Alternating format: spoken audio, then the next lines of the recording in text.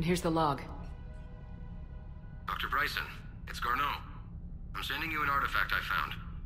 About the only thing I found there, in fact. Maybe it's nothing, but I'd swear Leviathan came through here. I'm gonna crunch some numbers. Burn up the rest of this Project Travel allowance. Maybe I can project our Reaper Killer's movements.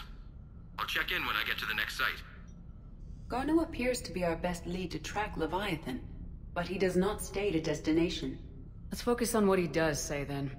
He mentioned extrapolating Leviathan's path. And crunching numbers. He wasn't flying blind. He had data.